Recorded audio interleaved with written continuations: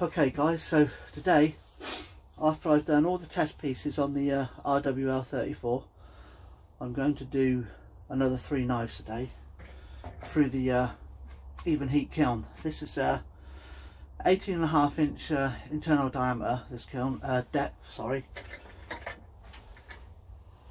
And then you can see the elements either side and the thermocouple right in the centre. I'll just bring you up, let you have a little peek.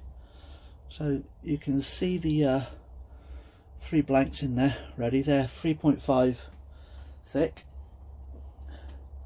So just place it down there a sec.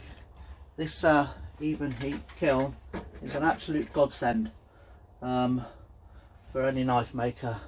So if you contact John down at uh, Multi Tool Products, he'll be able to help you out and give you all the information you need regarding this uh, unit. So let's come round to how we're going to heat treat this. See if I can remember this now. So we're going to turn them on, wait for it to go to a uh, standby. There we go. So we're going to press the develop key and then we're going to use uh, program one and enter then we're going to have three segments because I'm going to heat this steel up slowly in a three segments so we're going to have three segments. Enter. And it's going to ramp up as uh, as fast as the kiln can go which is nine. Enter.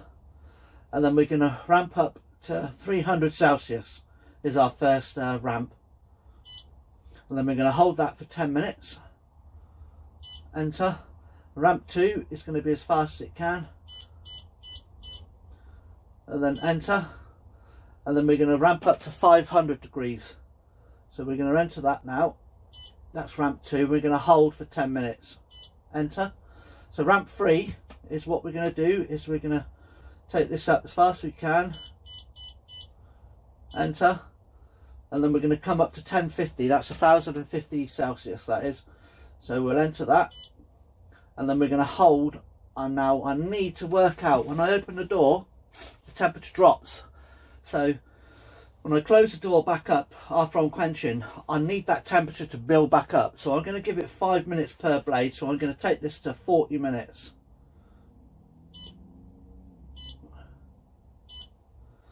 Um, we're going to set the alarm which is enter and now we're on a complete so after the complete uh, comes up what we do then is we uh, run and then enter you should hear it click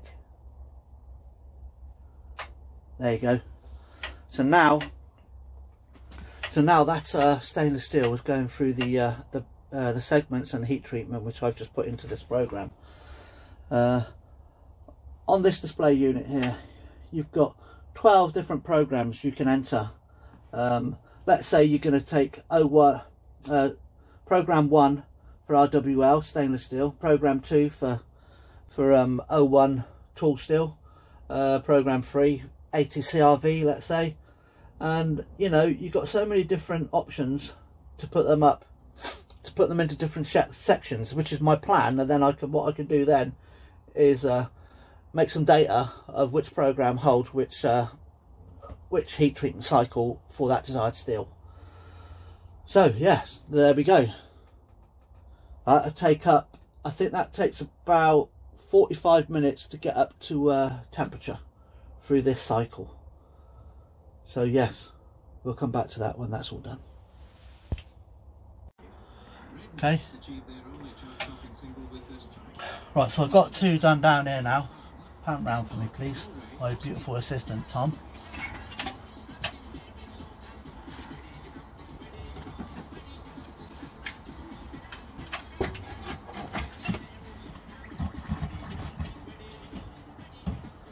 So then what I'll do is I'll just keep moving it around.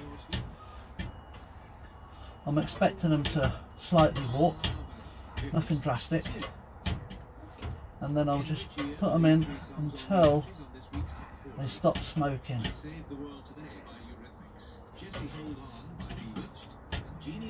and then they should be cooled within about 20, 25 seconds. It is 99, yes, 1999. Very good. Terrific. The song, Put My Mind Set on You, spent four weeks And that's the last one of the RWL 34. Slight, a slight little bit of smoke in there. But, uh, there we go.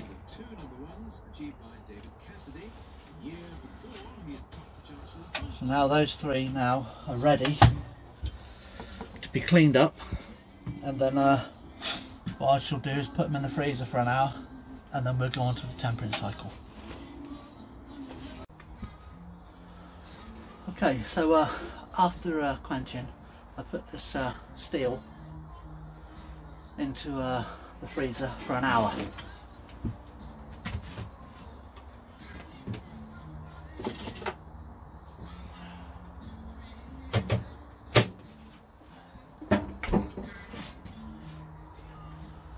So on, uh, on one of them, there we go, this one here.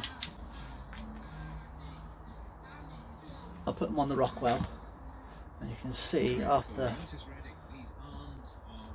you'll see the little dimplets there along the edge of the blade. So I've got a 62.5, same as I did the last time. Uh, thing I done different this time was, obviously I had a mate round and I was talking and I got distracted, so the hit the, the oil uh, didn't get up to around about 30, 25 degrees where I like to have it. It was only up to about 12, I think. Uh, and it didn't make a blind bit of difference really. So I'm going to test these now. Uh, I think uh, there is a warp on them, so I'll check them on the uh, glass behind me. Okay, so these have cooled down now from the freezer, and they definitely got a warp from quenching. So this one being the worst one, which I think is around about I don't know middle and a half.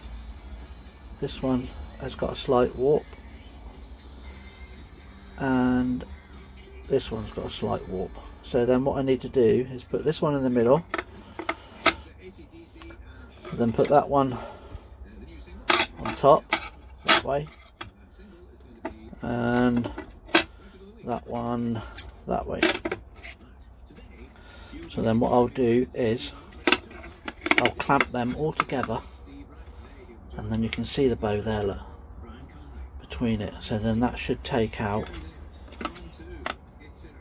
take out the bow when it goes in for the tempering cycle. Hopefully he says. But uh, I'll update you when I do that. Okay so I've got the um, knives back to back with uh, the bow facing in. Um, so the ends will be squeezed flat. And uh, so this should um, take this out in the tempering cycle. Um, I'm nearly up to 220 there so what I'm going to do is I'm going to open this door put them in now so they can ramp up slowly.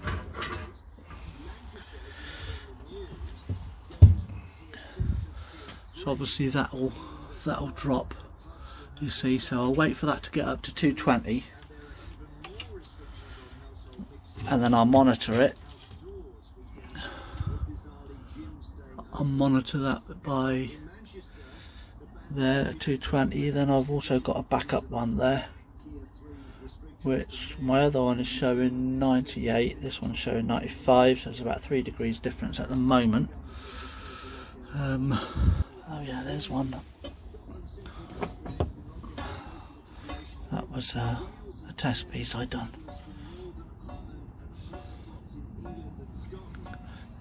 the indentations on it there let's see. So yeah.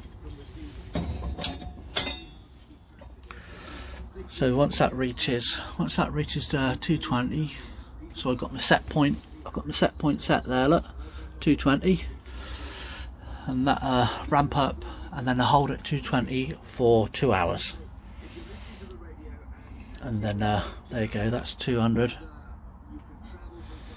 that one's 200 I had a little bit of a 30 degree difference um, when I've done this uh, uh, another test because I had this thermocouple and I had it round a rack what was in sort of low level of the oven so I got a different reading uh, from the middle of the thermocouple from the lower one which was 30 degrees which I didn't think it'd make a lot of difference. It does. So whatever you're doing if you've got a backup one make sure you put it on your thermocouple and wrap it round. You'll get a more uh, correct reading then. So that's 202 we got 203 there. I'm rising. So two hours it is. And I'll wait and see what happens. Okay so the tempering cycle is up now. I'm just going to get these gloves on bring them out of the oven.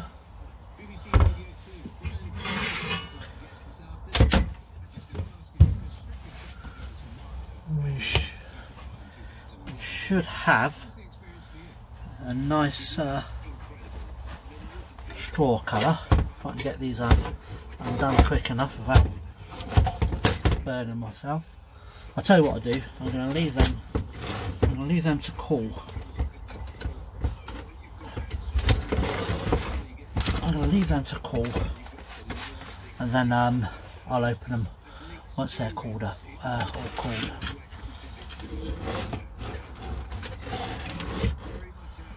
There they are. I'll let them cool down first. Okay so it's taken too long to cool down in the uh, clamps and I put them outside. So I just quickly took them off and now. They've been sitting in these aluminium plates for about 10 minutes.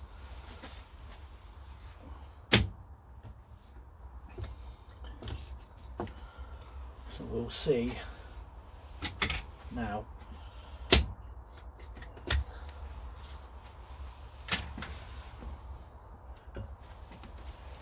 Oh yes. That's a nice uh,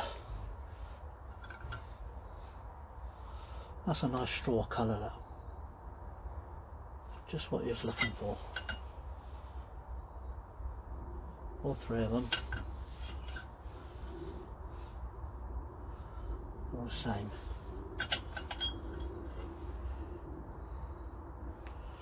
I haven't tested them yet on the Rockwell tester but what I'm going to do now is just put this down there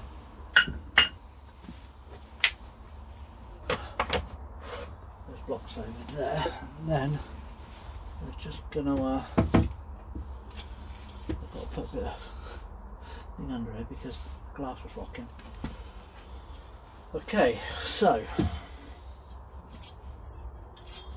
Where's the one what I'd already Rockwell tested after quench? This one. This was one that I, which was a bode. Nothing there. Okay, we got we got a slight slight rock in there, which isn't too bad. So this one no movement there. Slight rock in there. Nothing that side. And we've got a slight rock in there so that's not too bad. So just use this bit of paper. That's uh, my friend's company by the way. So I'll just use this uh, bit of paper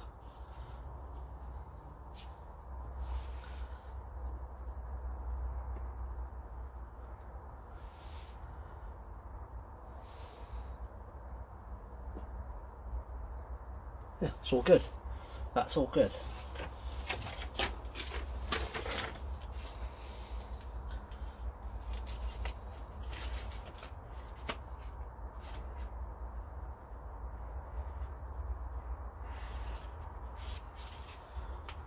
So they have a very slight warp,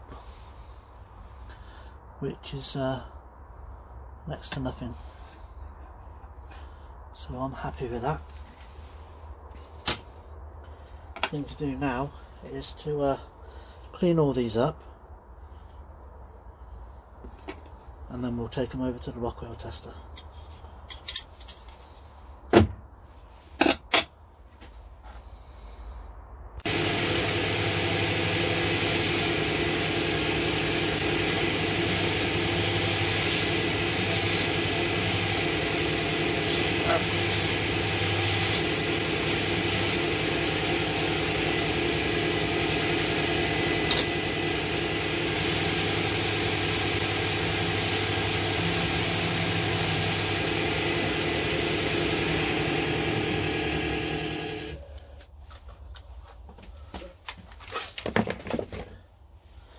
Okay, so that's them all cleaned up and ready. Now let's go to the Rockwell tester. This, if you're wondering what that was, that was just a sponge because these belts do get clogged up with uh, metal. So £5 from Screwfix I think they were. Run it on there, removes all the metal. Job's a good one.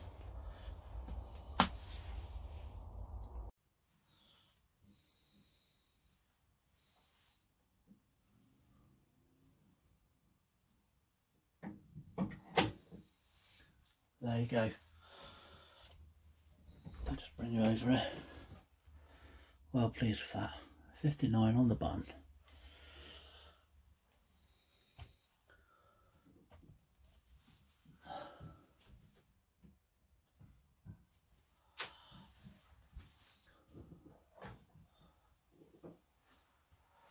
So that's good. So from that readout, You'll see them there at the bottom. See them shining there. In four places. So I know in that in that readout now. There's no point testing the other ones. I'll test them, but I'll test them off camera. Um, well pleased with that. Okay guys, so after all the info and the, the data which we got back from the, the Rockwell uh, machine. All the knives that we've done are all a 59 Rockwell. As you would have seen in the as you would have seen in the video, they all pretty much uh, followed suit. So that was a successful uh, heat treat on uh, on the RWL 34. If you like what you see, give us a thumbs up subscribe and uh, if you like share this video. Thanks for watching and I'll catch you up in the next video